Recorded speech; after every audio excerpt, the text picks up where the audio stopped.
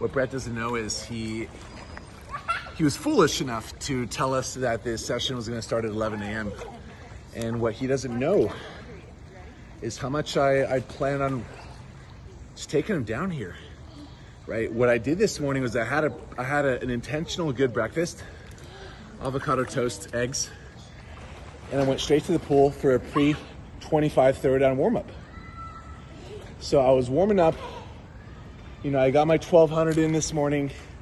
You know, I followed that up with stretching, came back, what I do? I hydrated. Right? So I'm here. I'm taking this seriously. And although it means nothing, I'm still an athlete at heart that wants to win. So here I am. Brett doesn't stand a chance. And I think that I have to have that that uh, I have to have that belief in myself that this is going to happen because uh, if you don't believe in yourself, it's over. Yeah. So now here's the thing. The first thing we need to do is we need to warm up, and then we need to work on finishes for his sake, right? Like just work on the finishes. I'm gonna teach him how to get his head down at the wall, just to give him a chance to beat me. You know what I mean? So, are we gonna swim fly or free on this one? You know what? We're gonna swim your stroke just so that just so that we all understand. All right, who's the alpha? At least on this day at this pool. All right, let's hit the warm up. Let's do it. All right, let's go.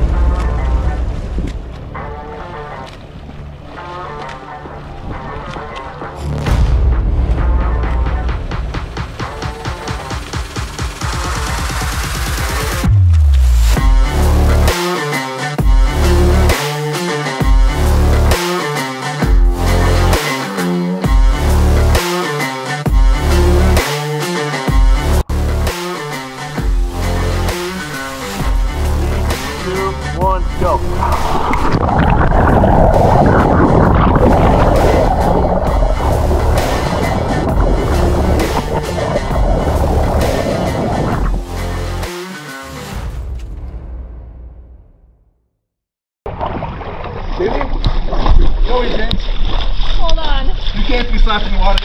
Come on. Who was it?